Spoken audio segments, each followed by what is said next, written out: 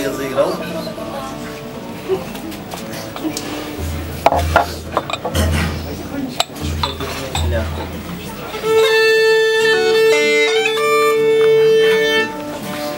Вот эта волынка ирландская, я бы хотел бы сконцентрировать да, фокус.